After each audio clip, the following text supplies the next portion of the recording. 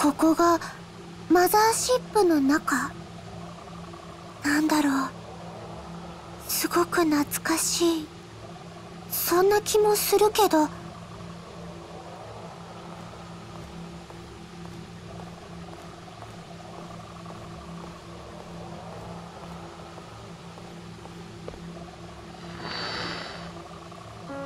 待って。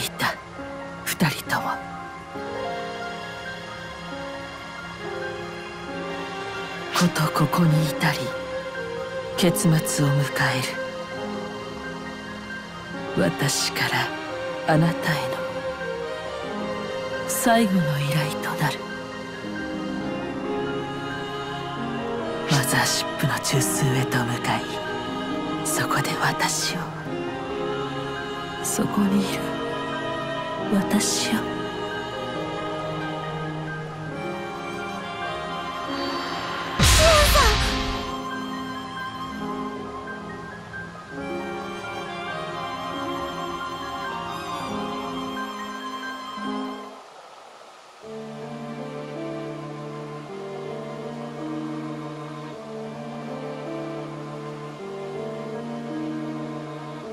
とうとうこの時が来たね。シオン。僕たちが待ち望んだこの時が。長かった。長かったよ。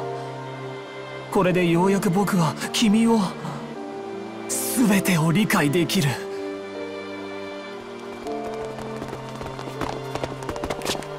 総長準備が整いました。ああそうかい。ご苦労だったねいえ総長の悲願のためならこの程度。これで私たちもフォトナーになれるんですよね。ああ。これで君たちも用済みだよ。ああそうだ。いらないのは枝葉だけじゃない。害虫もいたんだったね。そう。もはや全て必要ない。僕と君さえいればそれでいい。それだけでいいんだからね。邪魔な枝葉は害虫ごと切り離すに限る。君もそう思うだろシオン。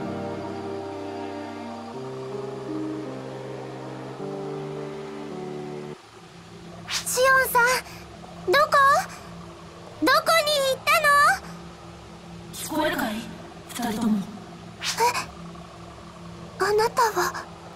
シオンの弟で納得しておいて詳しいことを説明してる暇はない。始まってしまったんだ。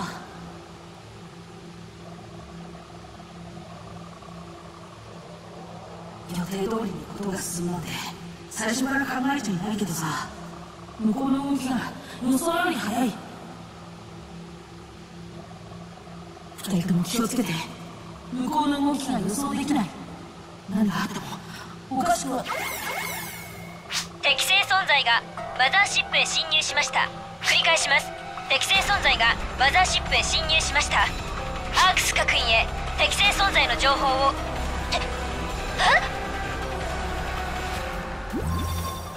聞こえるかアークス諸君。六房の一レギアスだ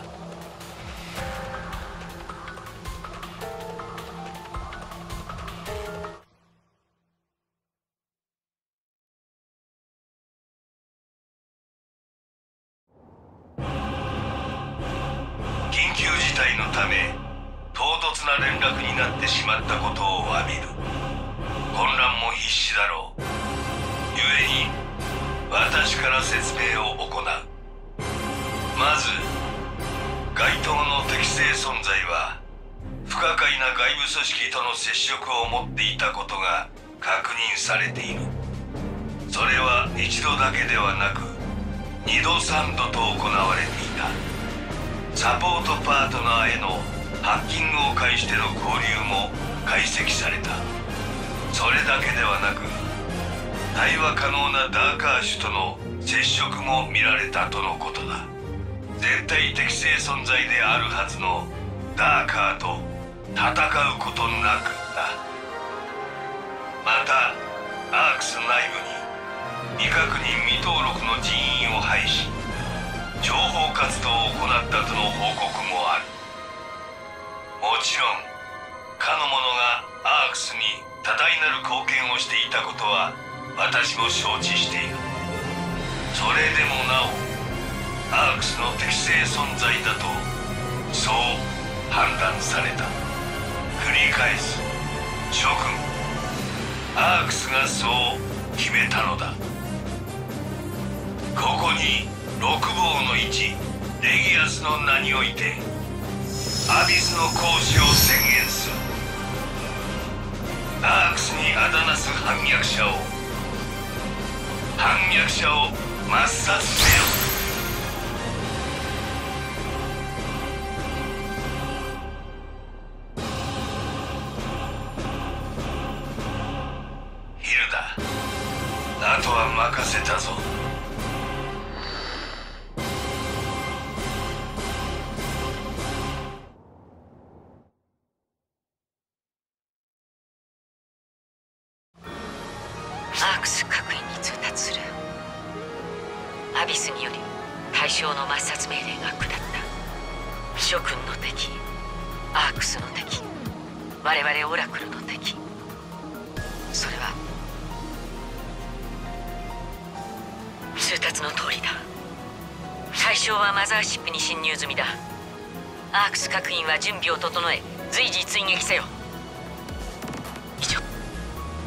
やられた。通りで今まで一切邪魔をしてこなかったわけだ。僕たちの存在に気づきながらもこの時のために泳がせておいたのだルーサ。ーつまりダーカーやクローンを手先として差し向けてくるくらいは考えてたけどアークスそのものとは。大丈夫。大丈夫だよ。あなたは何も悪いことはしてないから。みんなを助け私も助けてくれて。そして今も誰かのために頑張っているだけなんだから。だから進もうこの先。へそうだね。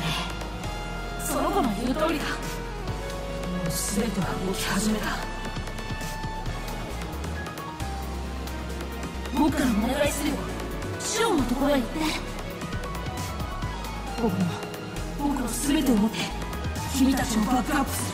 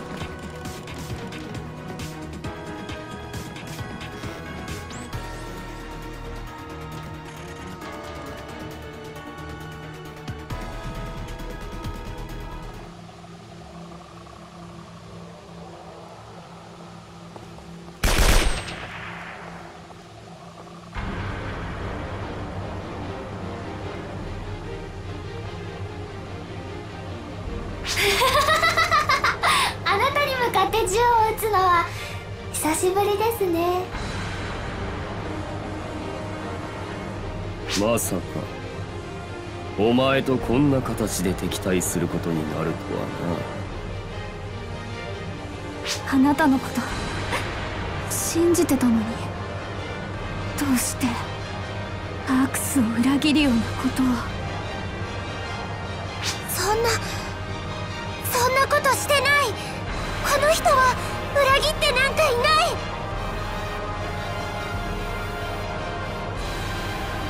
俺たちとてそう信じたいが殺してしまえば関係ない。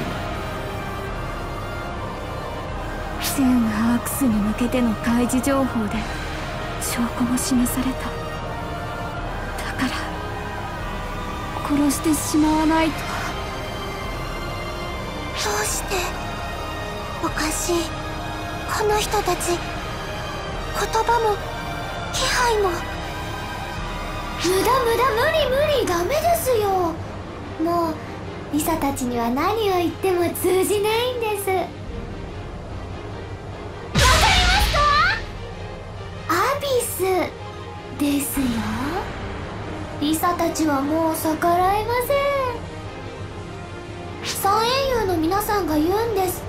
揃いも揃って命令するんです。あなたを殺しなさいって。まあリサは命令なんて別にどうでもいいんですが人を殺すのは面白そうですからね。安心してください。私は敵じゃありませんよ。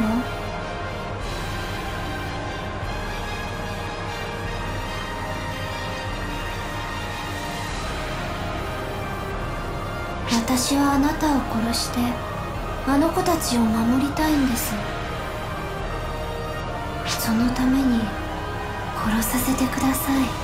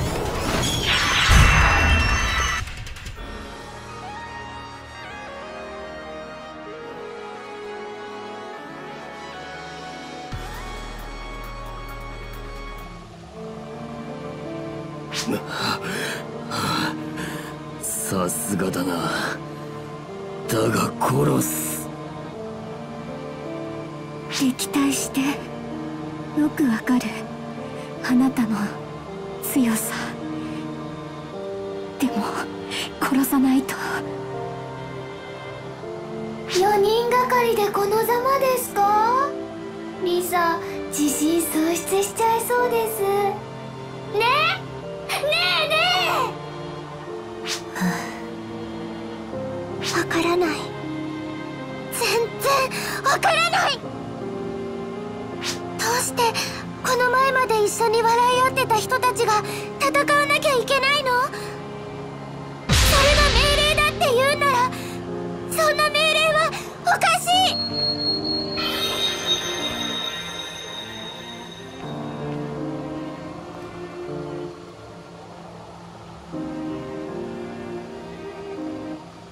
そう。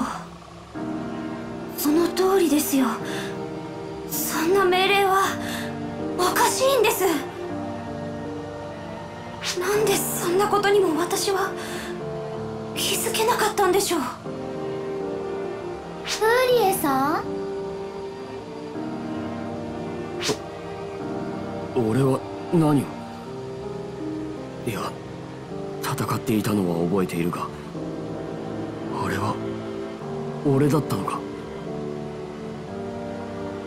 まるで自分の中に別の自分がいたみたい。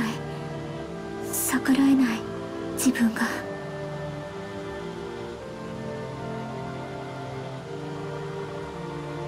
あ言われてみれば歌方の夢から現実に引き戻された。そんな感じがしますね。まあ夢は夢で楽しかったですしリサは結構満足しましたから。皆さんが辞めるのなら辞めます。それに続きのお相手ならあっちの皆さんがしてくれそうですからね。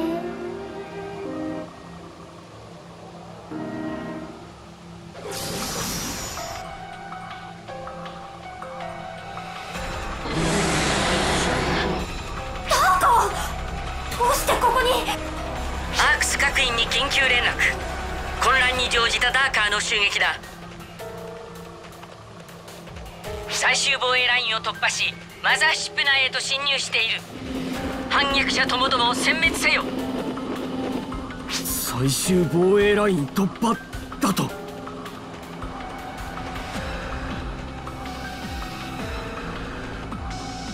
今まで一度も突破を許したことないはずなのにそんなに簡単に。反逆者の方にはあまったくますますもって愚かで愚かで愛らしいミスです。惚れ惚れしちゃい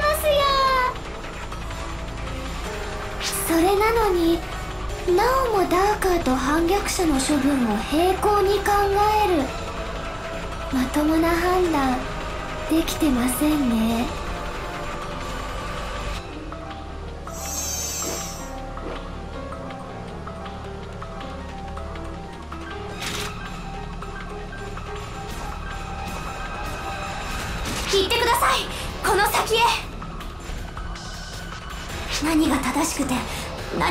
違ってるのか。私にはもう分かりません。だからあなたがやるべきだと思ったことをやり通してください。それがたとえアークスにうん。このアークスに不都合なんだとしても多くの人たちを救ってきたあなたの選択を私は信じたい。行け！ここは俺たちが食い止める。お前たちは先に進め。罪滅ぼしにもならないけどそれぐらいはさせてほしい。リ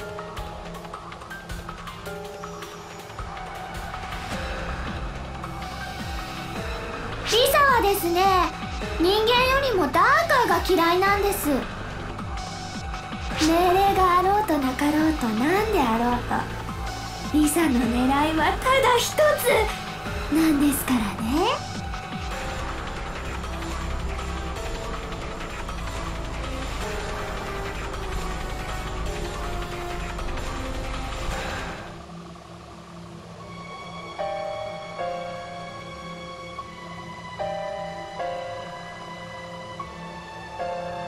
アビスと言ってもこの程度か。いやそれ以外の力が働いた。まあどうでもいいか。どうせもう捨てるおもちゃの話だ。最後に奇抜な動きを見せてくれるならそれはそれで面白い。さあアークスよ。ダーカーよ。好きなだけ殺し合うといい。それぐらいの自由は許してやるさ。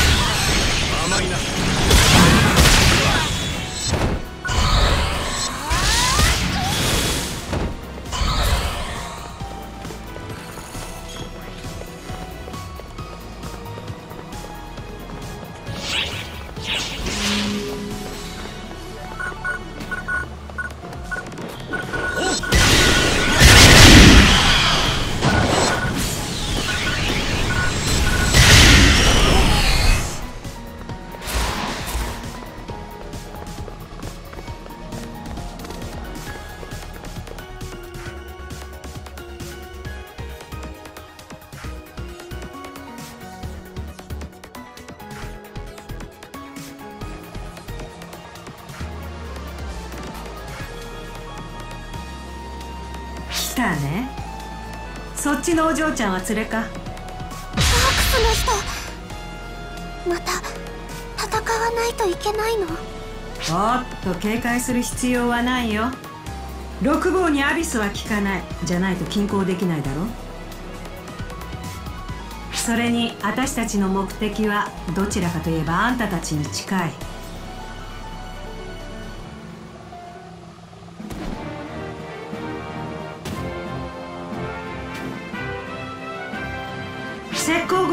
ご苦労ヒューイでどうだった？おおむね予想通りだ。姉さん。3人が3人。準備万端で待ち構えているぜ。だからどころか一っ子一人通す気なさそうだ。おお君は君たちはよくぞここまでやってきた！さあ次の相手はこの俺！そういう状況じゃないな。お互いに。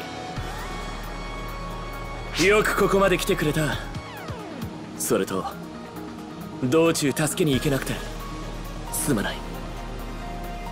言ってしまえば同じ六芒金庫の暴走に近いものだっつうのにだ。だから私たちが止めてやるんだよヒューイ。待って待って待って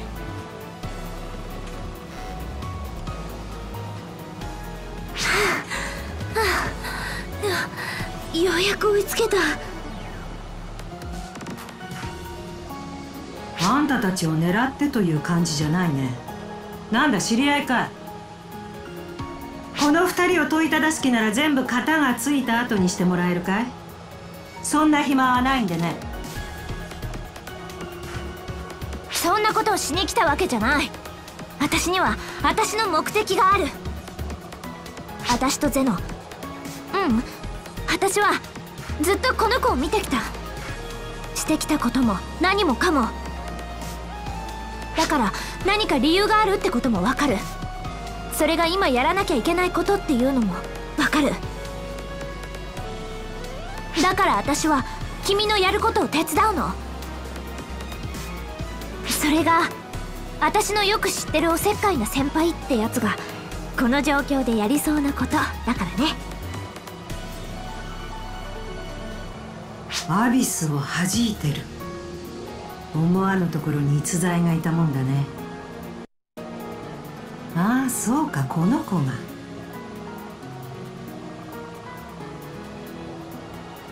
よしあんたもついてきな。ただし自分の身は自分で守る。ここから先は桁違いだよ。分かってる。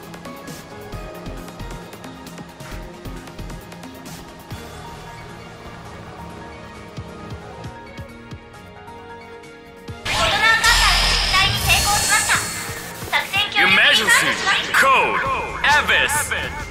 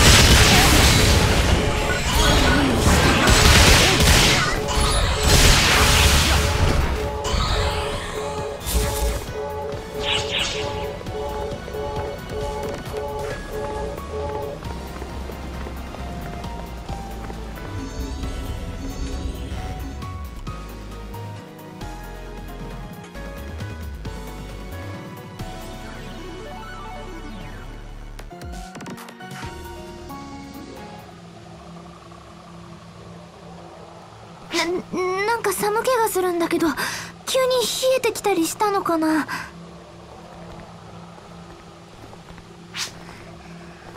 私もなんだか寒い。ううん。怖い感じ。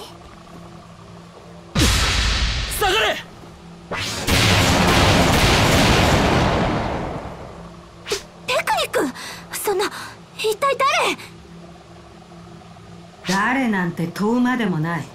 マザーシップに侵入した者を撃ち滅ぼす。最強の番人。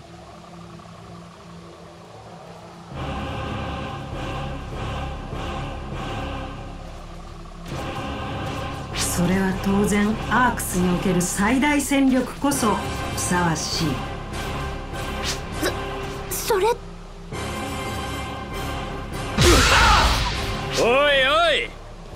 々に会えて喜んでくれてるのか。ずいぶん手荒い挨拶してくれるな。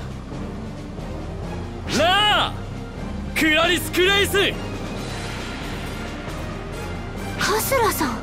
これはこれはエコーさん。ご無沙汰しています。ところであなたの隣にいらっしゃる方アークスの敵と通達したはずですがどうしてやらないんですか？この子は後輩だからよ。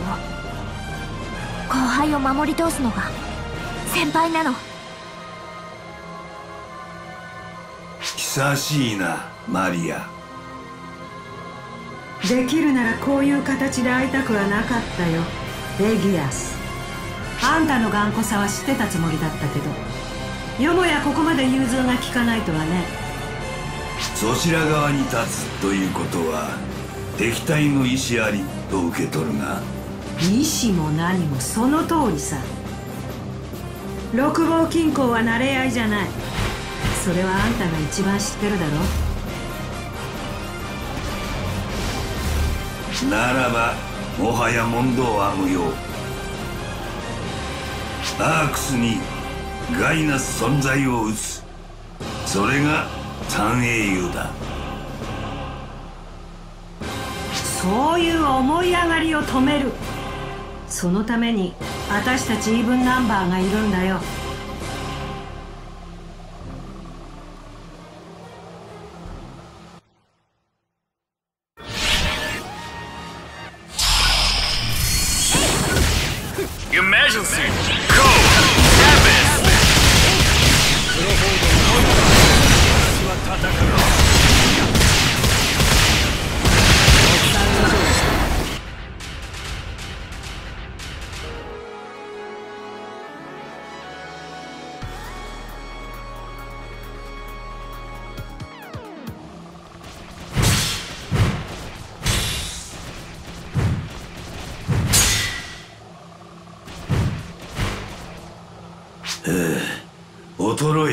ないようだな。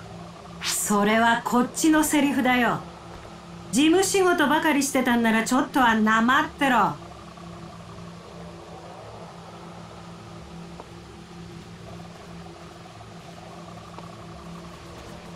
ヒューイお前はどうしてそっちにいるんだ？私はこっちにいるのに。クラリス・クレイスまだクラリッサの声を聞いているのか？誰も彼も攻めあぐねていますね。本気でぶつかるわけにもいかずといった感じですか。まあレギアスとマリアさんが本気でぶつかったらここが消える。そんなことするわけがない。クラリス・クレイスもアークスとの戦闘なんて考えていなかったでしょうしまあ仕方がないでしょうね。そういう意味では一番効率よく戦えそうなのは私なのですがいやはやそううまくはいきませんね。あなたとそちらのお嬢さんも見事なお手前です。皆が一目置くのもうなずける。ですがそちらの方は正直期待外れと言いましょうか。分不相応と言いましょうか。うるさい！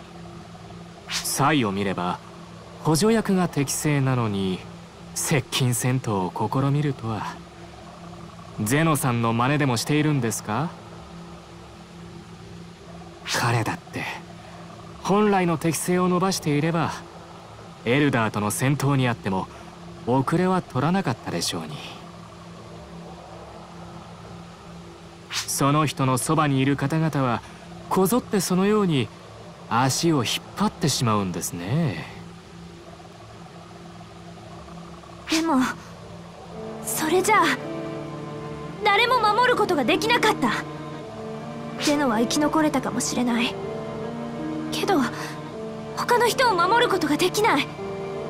それじゃ意味がないの。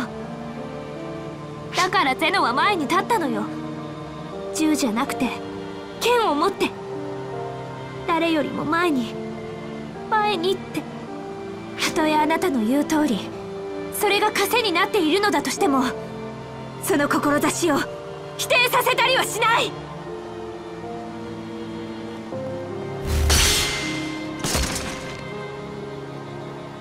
あなたの言わんとしていることわからなくもないです。ですがやすやすと挑発に乗ってはいけません。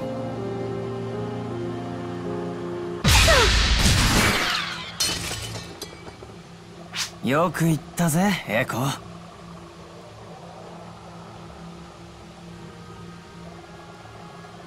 いや恐ろしいぐらいドンピシャ。悠長なあいつらを置いてきて正解だったな。あれは？ああやっと来たね。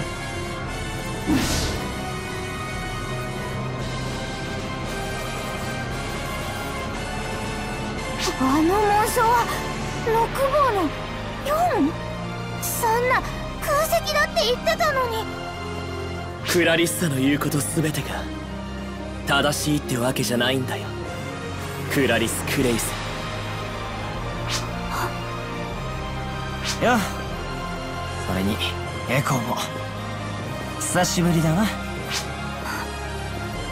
悪いな来るのが遅れちまって。この武器なかなか言うこと聞かなくて。ギリギリになっちまった。おいエコー。エコー。エコーさん。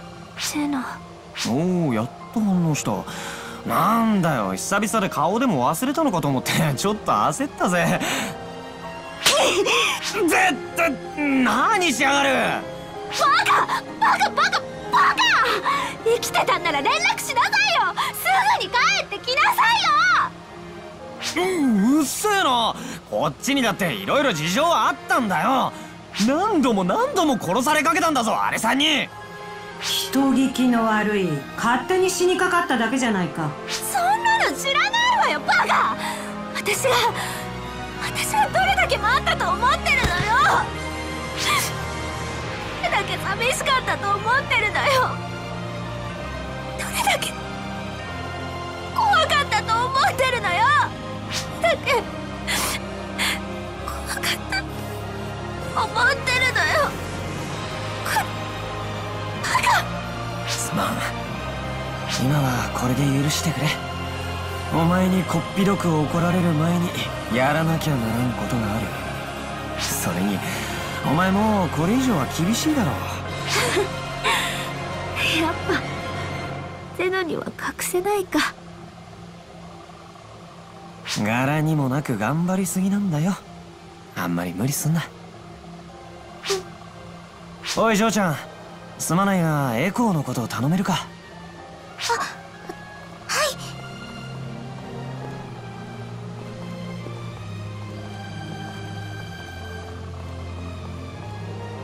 い。ゼノうん？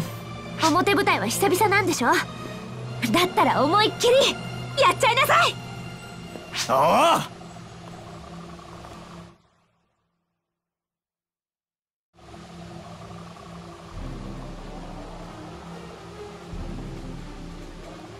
久しぶりだなカスラさんよ。銃口を向けての再会ご挨拶とは想像もしなかったけどな。こちらこそですよ。まさかあの状況で生きていらっしゃるとはね。こいつのおかげでなギリギリ命を拾わせてもらったんだよ。だからこいつには返しきれない恩がある新たなる六坊の4いつ以来なんでしょうね。こうしてイーブンナンバーが揃うのは。そしてその手の会見七きまさかそれを持てる人物が現れるとは思いませんでしたよ。だろ俺がハンターやってたのも無駄じゃなかったってことだよ。違いない先の発言は撤回させてもらいますよ。ここからが本番のようですね。歌え。リング。フローレンベルク。やっこさんはやっと本気みたいだ。じゃあこっちはこっちで先輩後輩息の合ったところを見せつけてやろうぜ。響け会見七